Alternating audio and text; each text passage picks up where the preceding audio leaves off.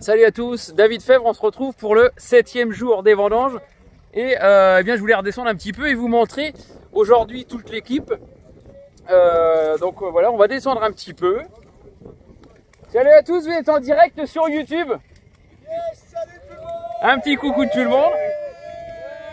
Donc très très bonne ambiance pour ces vendanges.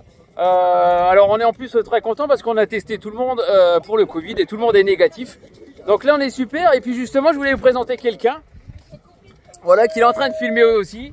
Euh, donc on a eu euh, eh bien on a Edouard Bergeon qui passe la journée avec nous. Donc Edouard Bergeon, le réalisateur du film et euh, le, talentueux réalisateur du film Au nom de la Terre. Donc voilà, je le remercie énormément pour cette journée bien sympathique. On est en train de faire, alors il me filme en même temps, c'est marrant. mais il est très, il est bien plus pro que moi. Hein. Moi je débute dans le métier. Donc voilà, il a passé la journée euh, avec nous, avec son copain euh, Antoine. Je sais pas où il est Antoine. Alors Antoine, il a les lunettes, il est tout là-bas. Donc voilà, c'était le clin d'œil euh, de la journée. Et on retrouvera le documentaire sur cultivons-nous.tv. Voilà. Où tu es déjà comme agriculteur youtubeur avec, Exactement. avec tous les autres. Bon. Une, journée, de, une journée de vendange. Une journée de découverte.